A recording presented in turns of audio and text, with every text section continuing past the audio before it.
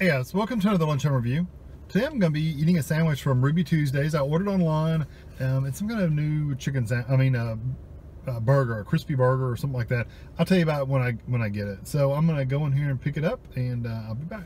Okay, here it is. I'll talk about the price when I when I uh, when I get the camera turned around. But this is the uh, um, Twisted Classics or Twisted Twisted Classic Twists or something like that. It's the crunchy crispy cheeseburger. Um, it has pimento cheese, it's burger, pimento cheese, it's got bacon bits, it's got onion rings, and a sriracha mayo sauce. And then I got fries with it too. So it looks really good. So I'm gonna get it turned around and, or get the camera turned around and let you know what it tastes like. All right, um, the price was $7.99. It's a crunch burger. Um, $7.99, 48 cents of tax, so it was $8.47 total. Yeah, so 847. I don't think that's bad for a, a burger. It's a pretty good sized burger and fries. So, I'm gonna try one of the fries first. They're a darker fry, which is fine. They got tons of salt on them. Hmm. Good and salty.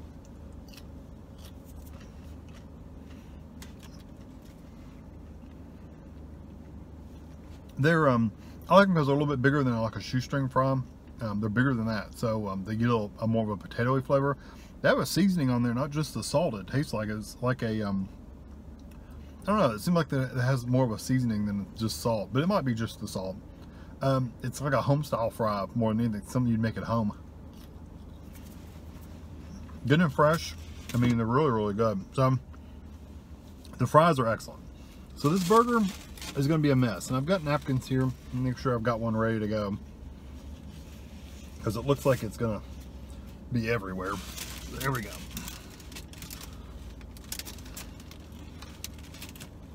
Yeah, it's kind of drippy. Mm, let's go in right here.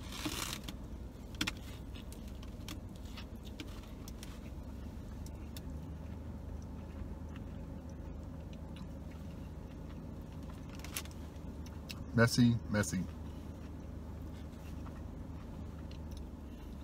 I'll tell you what, the flavors of that is really, really good. It's a very messy burger. That's my only complaint is it's very messy, but um, it's got an excellent flavor to it. It's got, um, sorry, I've got to wipe some of that on my hand. It's got a um, spicy sriracha flavor from the, the sauce and then but you can really taste the pimento cheese which is what I really like. Um, so you get the sriracha sauce the pimento cheese um, you get a good burger flavor. I didn't really get an onion flavor. That could have just been the bite I took. Um, I tried to get try to get right in the middle of it but I mean you can see it's got tons of stuff in there. Hmm.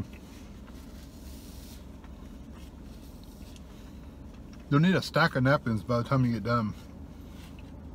Oh, we don't have a Ruby Tuesdays near us. This is the closest one. I'm in Georgetown, um, Kentucky. The um, matter of fact, there's only four I think in this area, so and within like 100 miles of, of uh, Lexington. So um, there used to be one in Lexington, but I think it closed down. Anyway, um, this is really good. I would, um, if you have a Ruby Tuesdays near you and you've never tried this, um, I would definitely try this out. Tami will put an actual description um, and a name in the description.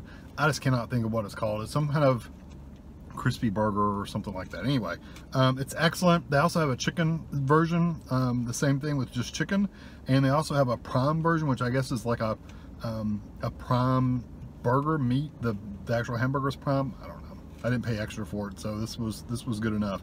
So I think the fries are excellent. I think this burger's really, really good. Um, sloppy, but good. I'm gonna give this whole meal a five. I would definitely recommend you try out Ruby Tuesdays uh, burger. It's it's excellent. So I hope you enjoy this video. Thanks for watching.